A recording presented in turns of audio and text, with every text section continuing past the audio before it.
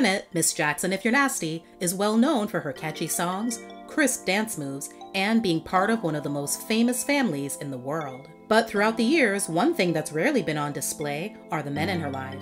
And I don't mean her brothers. Janet's done a pretty good job of maintaining a private life, especially when it comes to relationships, but in this video, we're gonna break down some of her hookups that have gone public, and some no one knew about. By the age of 18, Janet Damita Jo Jackson had already released two studio albums and appeared on three popular TV shows. She was also two years into her first serious relationship with a member of another musically gifted family. Janet met James DeBarge when his group, DeBarge, made its debut on Soul Train, while Janet was there with her sister, La Toya, and brother Jermaine. Janet, it's been said, found James to be a nice, sweet guy. Even though it wasn't easy, the couple would sneak around to see each other as much as possible. They ended up taking their relationship to the ultimate level when they eloped in September 1984. Other than the exception of getting a blessing from La Toya, Janet kept her plans hidden from the rest of her family. She would later reveal that the impetuous decision was an attempt to take control of her life from her father, as she relayed in her 2022 Lifetime in A&E documentary. I wanted to be able to stand on my own feet, and at that time I thought that there was no other way I would be able to kind of get my own life unless I got married. Any wedded bliss the couple shared, though, turned out to be short lived. After they eloped to Grand Rapids, Michigan, where they were married by James' uncle, the groom left his bride alone on their wedding night. He said, Okay, I'll be right back. And I'm sitting in a hotel room in Grand Rapids, Michigan by myself, just 18. And for three hours, he never came back. I don't know, maybe it's this person in me that wants to help people. Subconsciously, when it comes to relationships, somehow, I'm attracted to people that use drugs. James's drug abuse would continue to cause problems throughout their marriage. There are a lot of nights that I would go searching the streets looking for him 8 o'clock in the morning, 4 o'clock in the morning. I remember times when I would find the pills and I would take them and try to flush them down the toilet, and we would be rolling around on the floor fighting for them. Once Janet had finally had enough, she sought an annulment in 1985. In 2016, Entertainment Tonight reported that while appearing on the reality show Growing Up Hip Hop, James claimed that he and Janet had a secret daughter.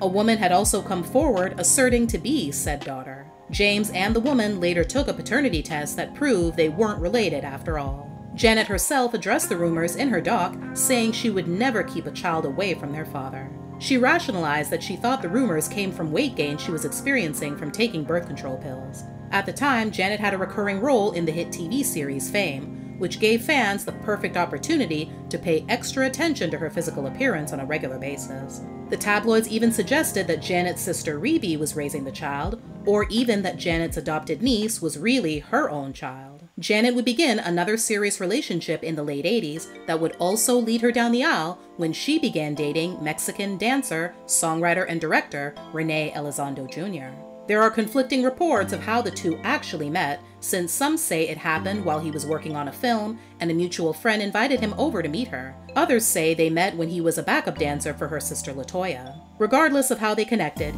he turned out to be exactly what she needed at the time. I needed to just be free of being with somebody that did drugs and all of that. I needed a lift. Rene was funny, just always had fun together. He was very, very charming. He became Janet's creative collaborator and worked with her extensively during the height of her career. He made an appearance in the music video for her hit Come Back to Me off her 1989 album Rhythm Nation, directed several of her other music videos, including That's the Way Love Goes, and again from her 1993 album Janet, and wrote on her 1997 album, The Velvet Rope. He was also the faceless male model standing behind Janet while using his hands to cover her breasts during her risky 1993 Rolling Stone cover shoot. In 1991, they secretly married. Not only was the wedding a secret, but so was the entire marriage. In fact, the public wasn't brought up to speed about their union until their split was announced nine years later. Rene then filed a lawsuit against Janet seeking damages of $10 million, claiming she broke a promise to divide property acquired before their marriage, as well as equally share any assets acquired after their relationship began in 1987. Although Janet initially fought the lawsuit and tried to get the courts to uphold their prenuptial agreement, Rene claimed to have signed it under duress. Ultimately, she did settle with him for the amount requested. Before Janet embarked on her next long term relationship, A platonic blast from the past came back to enter into Janet's love life once her and Rene were done in the form of a Tribe Called Quest member, Q-Tip. They first met while filming the 1993 movie Poetic Justice and joined forces once more for her 1997 hit Got Till It's Gone. They began dating shortly after for an unspecified amount of time.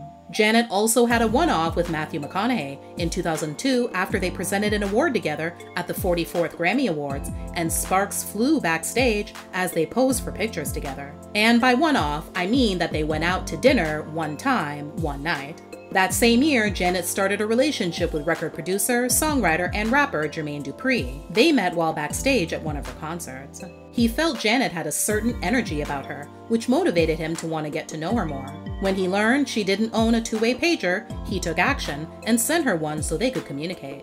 Throughout the several years that they would end up spending together, Janet gushed about how amazing he was. In 2006, while she was doing a sit down interview for The Oprah Winfrey Show, with Jermaine sitting in the audience, she expressed that she thanks God on a regular basis for having him in her life. Jermaine and I have been seeing each other for five years, and I feel his unconditional love. I love everything about him. He's just real, very real, and very loving. I'm truly happy. Also that year, Janet appeared on The Tyra Banks Show and surprisingly delved into their between the sheets experiences by telling viewers So, on a scale to 10, 1 to 10, how is Jermaine in bed?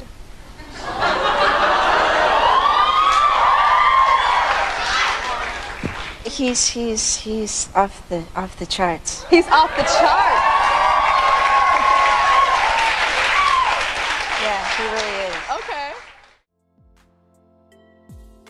After much time had passed, Janet and Jermaine's relationship started to take a hit when he wasn't willing to take their romance to the next level. You see, Jermaine had no interest in getting married. His apprehension to making the lifelong commitment was just one factor as to why their relationship started to fall apart. Another reason was that the couple never lived together throughout the period they were romantically involved. In Janet's 2022 documentary, even more was revealed about what went on behind closed doors in their relationship. Jermaine, who was featured, claimed that by dating Janet, he was able to attract other women, and confessed to being unfaithful to her. Ultimately, they parted ways in 2009. After splitting from Jermaine, Janet met Qatari billionaire businessman Wissam Al Mana in the spring of 2010 at a hotel opening in Dubai. The two had a whirlwind relationship that led to major changes in Janet's life, including a move to London and abandoning her famously sexy style for extremely conservative garb in line with her new boo's Muslim religion. The couple became engaged and married privately in 2012. Janet waited until the following year to inform fans of their nuptials, noting on her website that it was quiet, private, and a beautiful ceremony. On January 3, 2017, Janet gave birth to their son. Three months later, though, it would be announced that the couple had separated and were pursuing a divorce. News outlets pinned the reason on the couple not seeing eye to eye on many things, including religious beliefs, cultural differences, and backgrounds. Janet's brother Randy shocked everyone when he told People magazine that his sister was also verbally abused during her marriage to Wissam.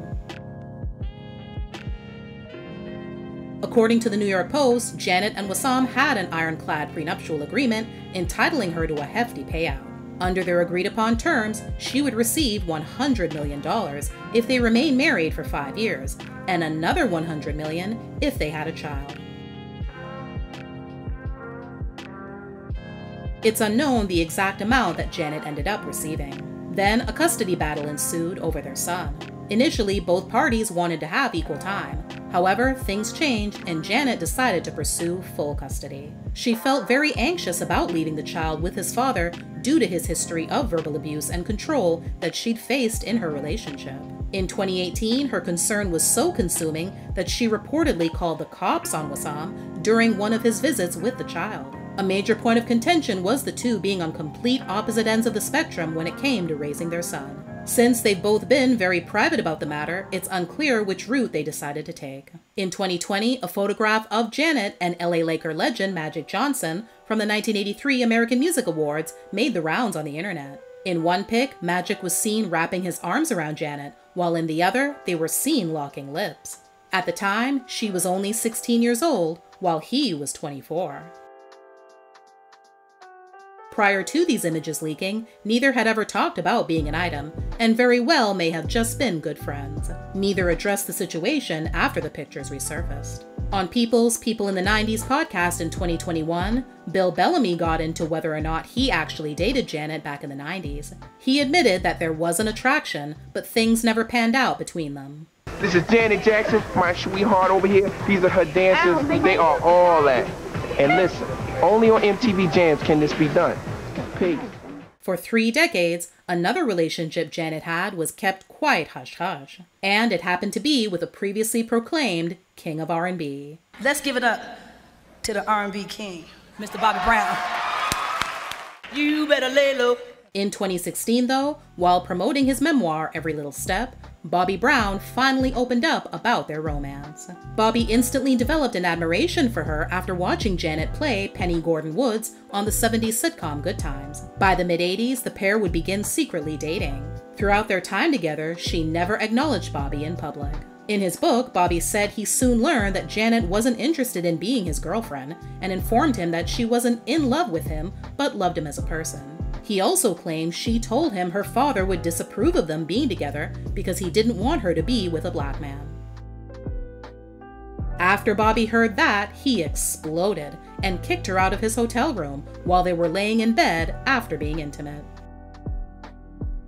He also touched on their relationship in his 2018 BET series, The Bobby Brown Story, and his 2022 A&E documentary, Biography Bobby Brown. After breaking things off with Wissam, it appears that Janet has been single ever since, and that her primary focuses these days is herself and her son.